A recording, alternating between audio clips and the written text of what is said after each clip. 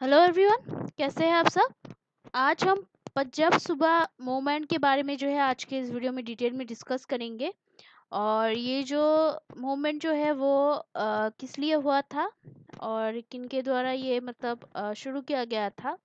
और किस वजह से? तो इन सभी के बारे में जो है हम आज के इस वीडियो में डिटेल में डिस्कस करेंगे जो कि आपके एग्ज़ाम पॉइंट ऑफ़ व्यू से बहुत ही इंपॉर्टेंट होगा और जो भी आप कम्पिटेटिव एग्ज़ाम्स के लिए प्रिपरेशन कर रहे हैं उन सब के लिए भी बहुत ही फ़ायदेमंद होगा। तो इस वीडियो को जो है एंड तक ज़रूर देखिएगा और अभी तक अगर आप लोगों ने हमारा चैनल सब्सक्राइब नहीं किया है तो प्लीज़ सब्सक्राइब कर लीजिए और साथ ही साथ बेल आइकन भी दबा दीजिए ताकि आपको अगला नोटिफिकेशन मिल सके। तो चलिए आज का ये जो डिस्कशन है वो शुरू करते हैं। और साथ ही साथ जो है हमारे वीडियो को जो है एंड तक देखने के साथ साथ लाइक करना प्लीज़ मत भूलिएगा। तो अभी हाल ही में जो है शिरोमणि गुरुद्वारा प्रबंधक कमेटी, यानी कि शिरोमणि गुरुद्वारा प्रबंधक कमेटी एस ने जो है 4 जुलाई 1955 को जो है पंजाब सुबह आंदोलन मोर्चा के दौरान जो है स्वर्ण मंदिर, यानी कि गोल्डन टेंपल के अंदर जो है पुलिस बल द्वारा की गई कार्यवाही को याद करते हुए एक कार्यक्रम आयोजित किया।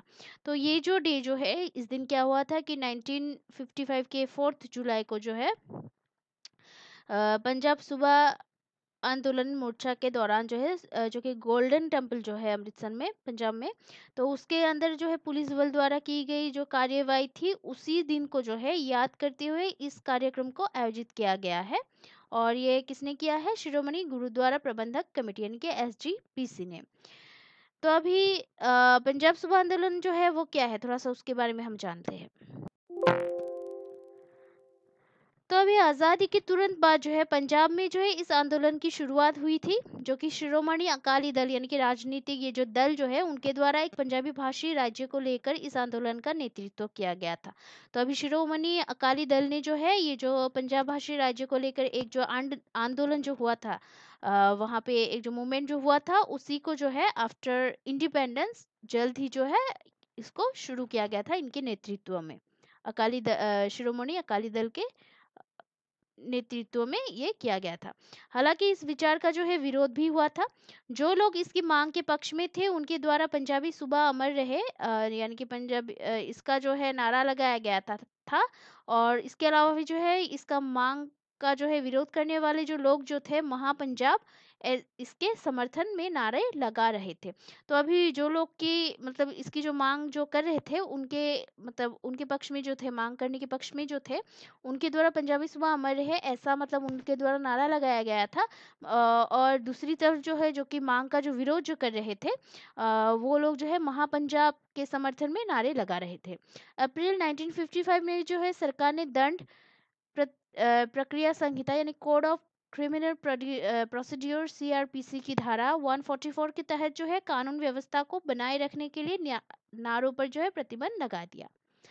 देन पंजाबी सूबे के निर्माण की मांग ने जो है स्वतः ही अलग हरियाणा राज्य की मांग का आधार निर्मित कर दिया। तो उसके बाद क्या हुआ कि पंजाबी जो सूबे जो थे उनके निर्माण की मांग ने जो है खुद ही जो है अभी जो कि अलग जो हरियाणा राज्य की जो है मांग का आधार उसने निर्मित कर दिया इसके अलावा। तो अभी जो है इसकी मांग क्या थी? मतलब ये जो मूवमेंट जो था, उसका डिमांड क्या था? तो उसका ये डिमांड था कि पंजाबी जो भाषी, जो राज्य जो है, उसका निर्माण होना चाहिए, जिसमें कि पंजाबी भाषी जो क्षेत्र जो है, जो एरिया जो है, उनकी जनसंख्या इसमें मतलब शामिल होंगे। मतलब जो कि पॉपुलेशन जो पंजाबी भाषी, जो पॉपुलेशन जो है इन एरियाज़ में जो पंजाबी भाषी जो लोग जो है, वो लोग इस एरिया में शामिल होंगे। मतलब जिस भाषी, जिस राज्य को निर्माण किया जाएगा, पंजाबी भाषी राज्य को तो इसमें वो लोग मतलब शामिल होंगे। और किसी भी जो स्थायी तरीके से इसके आकार को बढ़ाने या घटाने के जो है तो उसके कारण जो है, कोई भी उग्र हिंसक प्रयास ना करना। यानी कि इसको जो है मतलब बढ़ाने के लिए घटाने के लिए जो है, इसके एरियाज़ को तो उसके लिए जो है कोई भी मतलब वायोलेंट नहीं करना इसका एक और मांग था और उसके अलावा भी जो है पंजाबी भाषी राज्य भारतीय संविधान के अधीन होगा तो ये उसकी मांग था। तो ये जो पंजाबी भाषी जो राज्य जो होगा लैंग्वेज जो बोली जाएगी पंजाबी तो वो जो एक जो अलग सा जो एक जो राज्य बनेगा, वो अभी भारतीय जो संविधान है उसके मतलब अंडर होगा। अभी पंजाब का जो गठन जो है, यानी कि फॉर्मेशन ऑफ़ पंजाब जो है वो क्या है? तो पंजाब पुनर्गठन अधिनियम 1966 और राज्य पुनर्गठन आयोग की पूर्व सिफारिशों के अनुसार जो है, उसके पारित होने के साथ जो है, हरियाणा जो है, साल 1966 में पंजाब से अलग होकर भारत का सेवनटीन जो है स्टेट बन गया। तो अभी क्या हुआ कि पंजाब पुनर्गठन अधिनियम 1966 के पारित होने के साथ ही साथ जो है, हरियाणा जो है, वो साल 1966 में जो है पंजाब पंजाब से अलग हो गया और भारत का ये सत्रहवा ये एक राज्य बन गया। और इसी प्रकार जो है, पूर्वी पंजाब का जो पूर्व राज्य, अब जो राज्य हरियाणा और पंजाब में विभाजित हो गया था। तो अभी क्या हुआ कि इस प्रकार, इसी तरह से जो है, अभी पूर्व की जो, पूर्वी जो पंजाब जो है यानी कि ईस्ट जो पंजाब जो है और उसका जो ईस्ट का जो स्टेट, अब दो राज्यों में जो है, हरियाणा और पंजाब में वो मतलब डिवाइड हो गया था। और कुछ ही क्षेत्र जो है मतलब कुछ जो एरियाज़ जो है, केंद्र शासित प्रदेश यानी कि हिमाचल प्रदेश में भी स्थानांतरित कर दिया गया था उनको। पंजाब और हरियाणा दोनों की अस्थायी राजधानी के रूप में सेवा करने के लिए जो है, चंडीगढ़ को एक केंद्र शासित प्रदेश बना दिया गया। तो अभी क्या हुआ कि पंजाब और हरियाणा तो अलग अलग हो गए तो मतलब डिवाइड हो गया, लेकिन उसको मतलब उसके लिए जो राजधानी जो एक जो चाहिए थी तो उसको जो है, एक मतलब टेम्पोरेरी जो है चंडीगढ़ को जो है यूनियन टेरिटरी के रूप में इसको राजधानी बना दिया गया है, बना दिया गया चंडीगढ़ को। देन उसके बाद जो है राज्यों के निर्माण के लिए जो है संविधानिक जो कि मतलब प्रावधान जो है प्रोविजंस जो है वो क्या है? कॉन्स्टिट्यूशनल जो प्रोविजंस जो है इन राज्यों को निर्माण करने के लिए वो क्या है? थोड़ा सा उसके बारे में जानते हैं। तो भारतीय संविधान केंद्र सरकार को मौजूदा राज्यों में से एक नया राज्य बनाने या दो राज्यों का विलय करने का जो है अधिकार देता है, इस प्रक्रिया को जो है राज्यों का पुनर्गठन कहा जाता है।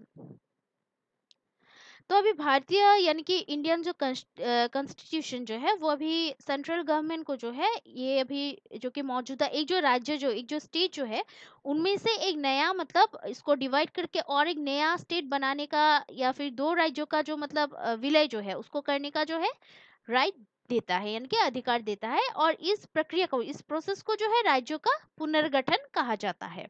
ठीक है।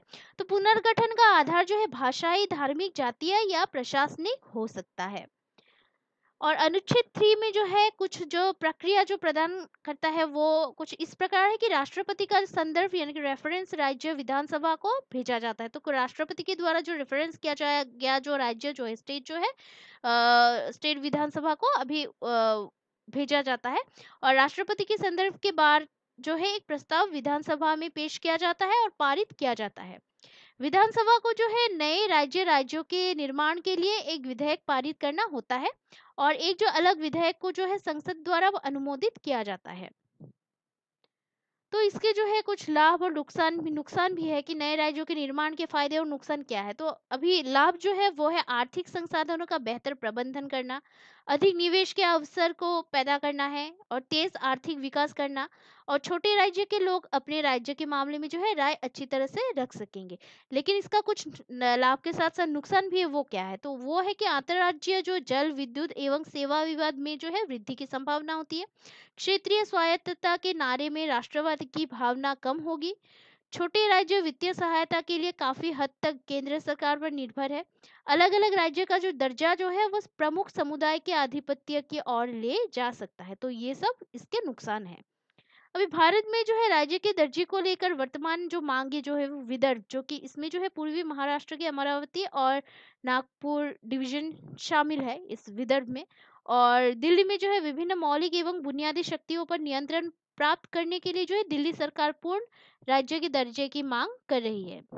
उसके बाद आता है हरित प्रदेश, जो कि इसमें जो है पश्चिमी उत्तर प्रदेश के कृषि प्रधान ज़िले शामिल है और फिर आता है पूर्वांचल। तो ये जो है उत्तर मध्य भारत का एक भौगोलिक क्षेत्र है, जिसमें कि उत्तर प्रदेश राज्य का पूर्वी हिस्सा शामिल है, ठीक है? देन उसके बाद आता है बोडोलैंड। तो बोडो जो है उत्तरी असम में सबसे बड़ा जातीय और भाषाई समुदाय है, जो कि अपने लिए अलग राज्य की मांग कर रहा है। देन सौराष्ट्र तो बोडोलैंड के ऊपर जो है हमारे इस वीडियो में जो हमारे ये चैनल में जो है एक वीडियो ऑलरेडी बनाया गया है। तो आप लोग अगर चाहते हैं तो उस वीडियो का आप लोग देख सकते हैं तो प्लीज़ इसको देखना मत भूलिएगा। और उसके बाद आता है कि सौराष्ट्र तो सौराष्ट्र जो है दक्षिण पश्चिमी गुजरात राज्य में जो है कठियावाड़ प्रायद्वीप, जिसे कि सौराष्ट्र प्रायद्वीप भी कहा जाता है उसके लिए जो है, उसके लिए भी अलग राज्य की मांग की जा रही है।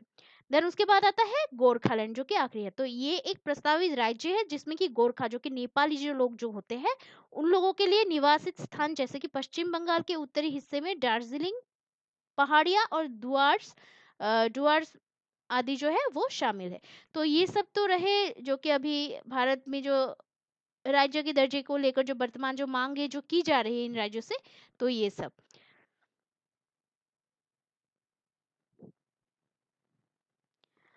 तो आज तो आज के लिए जो है, वीडियो में इतना ही है और कल हम फिर मिलते हैं एक ऐसे ही टॉपिक के पूरे एनालिसिस के वीडियो के साथ।